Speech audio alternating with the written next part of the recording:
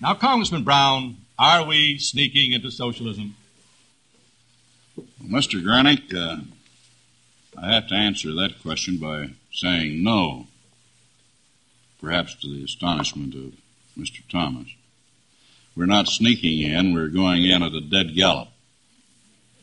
You call this socialism or what you call it, I don't know what you may call it. Uh, you could call it any one of a dozen things. It all comes out of the same bottle, whether it's socialism, communism, fascism, Nazism, or whatever it may be. It's where the state becomes all powerful and the individual no longer counts. I think uh, I think Hitler called it state socialism, didn't he, or national socialism? He, uh, socialism? he called it national socialism. Whether you call it whether you call it socialism or what what have you, and I'm not so sure that you actually believe in what many of us feel is socialism.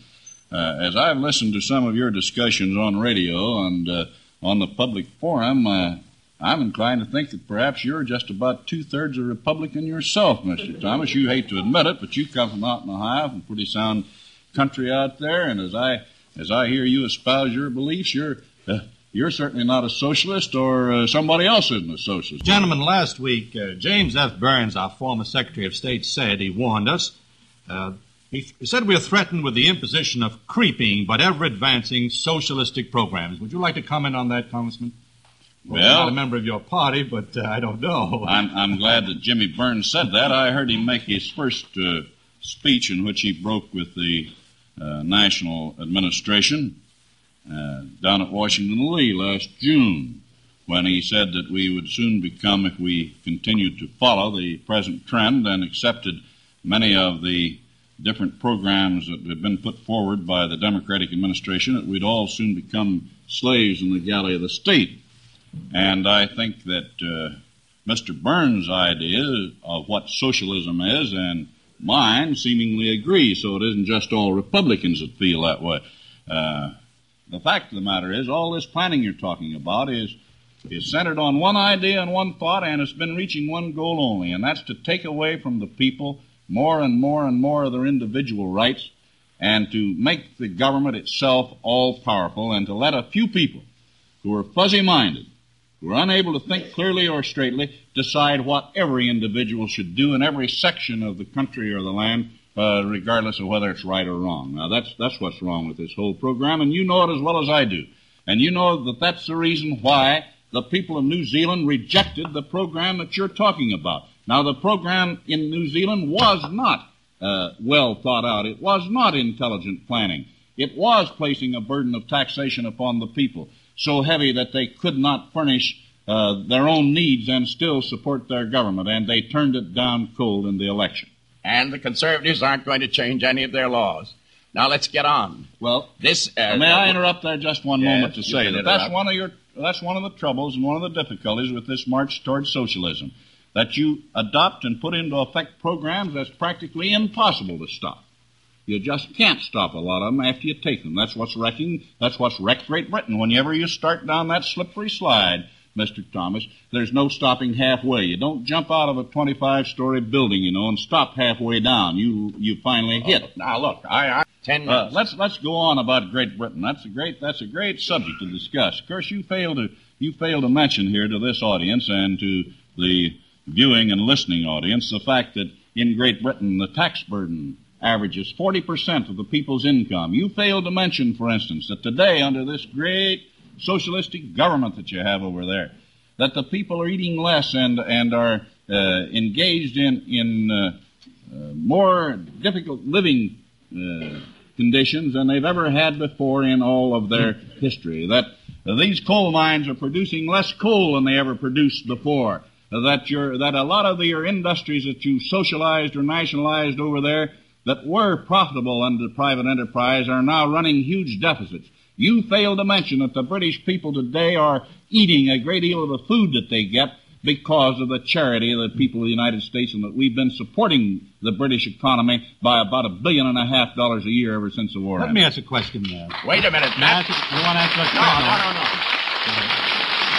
Let's tell the whole story, Mr. Thomas. Well, of course, the very fact of the matter is that the more government controls, the more the the productive uh, productivity of the country. And the various businesses and industries, the more it controls the individual. And that's the trouble with these so-called liberals. And I contend that I'm a real liberal, more of a liberal than Mr. Thomas. I'm so much of a liberal that I want every individual in America and in the world to enjoy liberty. I don't want some government bureaucrat telling him, or me either, what he has to do, what he has to eat, what he, how, where he has to work, how much his pay shall be, how much he shall contribute to his old age, the government knows better than you do, John. We'll take That's your money. And I don't want to plan all of these other things. I don't want to plan or unplan. And, uh, uh, In other words, what welfare legislation that has been passed would you repeal?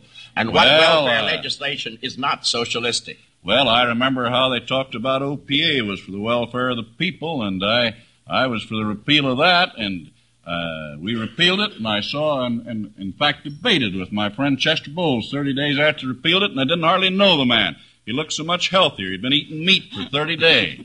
Just wonderful. Now, those are some of the things that I want to take off. I, I want to take a lot of these controls, a lot of these regulations. All right, I have to say that. I, I don't I don't want to see I don't want to see the government saying you have to do this or that. We're gonna we're gonna compel you to to pay in your money in the form of taxes, and then we'll spend it for you to educate you. We'll spend it for you. I don't want the federal government to control the schools of this country, for instance, the the educational system. I don't want them to dictate uh, what uh, uh, a man shall do in the way of running his own business so long as he does not interfere with the rights of others. Congressman Brown, if as you claim we are sneaking into socialism, why is it so? Why is it so?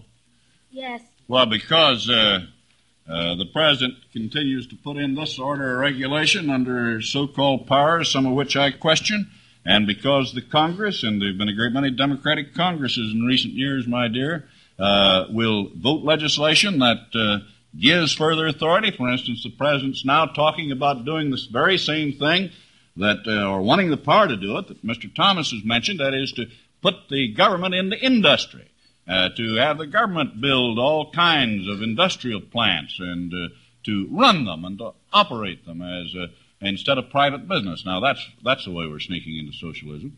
Uh, I'd like to say to the lady that it doesn't make a bit of difference who takes your liberty away from you, whether it's a communist or a socialist.